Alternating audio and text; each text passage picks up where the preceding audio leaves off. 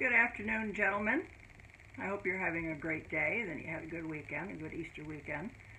Uh, mine was quiet, but I did fix dinner and I invited my neighbor down and we sat six feet away from each other and had ham and mashed potatoes and yellow squash and I made some deviled eggs, you know, just all small portions so that, you know, we could just share. So it was just nice. I always have a big dinner here on Easter, Christmas, Thanksgiving.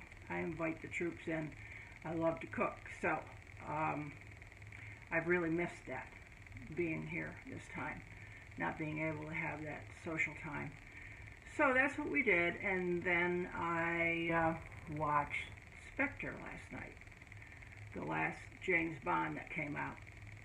And Daniel Craig is my favorite Bond. I know everybody's got their own, but he's my absolute favorite. And I also like the way the films changed back to less nonsense and foolishness, um, less misogynistic too.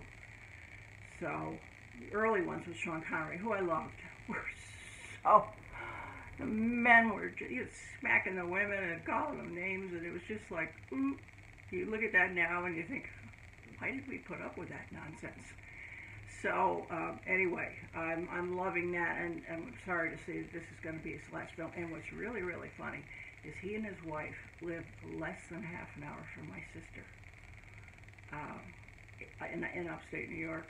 So they see her out in the grocery store.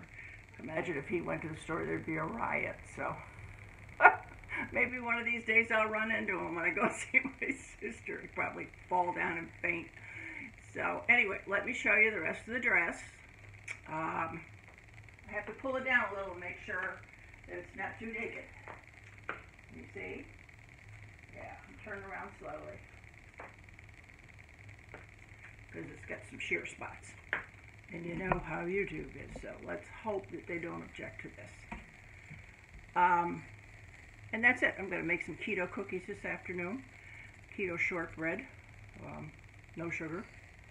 No flour, just almond flour. And um, I've been having a sweet tooth craving, so maybe that'll help me. I'm still trying to get off eight more pounds the last time that you saw this dress was on my website. It's on the top of one of the pages. And uh, it was probably 15 pounds heavier. I had a really great camera lady.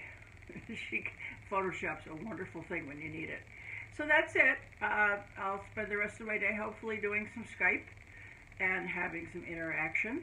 Uh, I miss that sociability, as I said. So you all, y'all, have a good day and behave yourself. Love you. Bye.